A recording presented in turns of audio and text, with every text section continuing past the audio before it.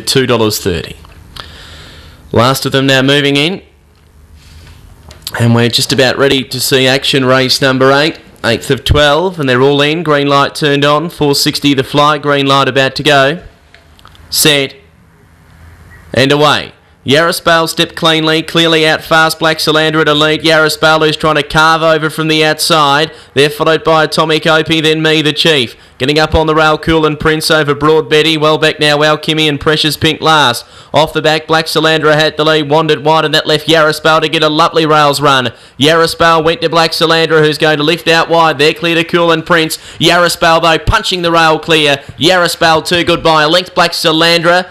Third very close, dead heat between Precious Pink and Cool and Prince. There was nothing in that. Clear to Atomic Opie, then Broad Betty, me, the Chief, and our Kimmy. Run to race number 8, 26 24 to Yarraspale.